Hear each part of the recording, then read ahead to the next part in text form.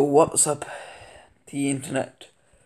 Today I am going to discuss you what I haven't been uploading recently.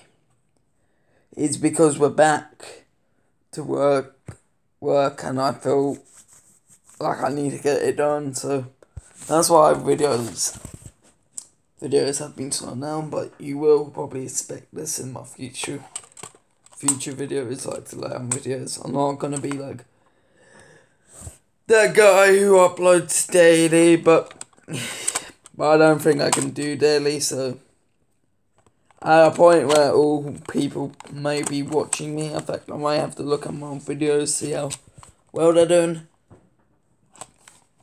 But anyway, the reason why I want to make this is to notify you all on how I'm doing. Basically, I'm doing fine a bit stressed out on my personal problems, but I'm not gonna sit here and talk to you about my personal problems.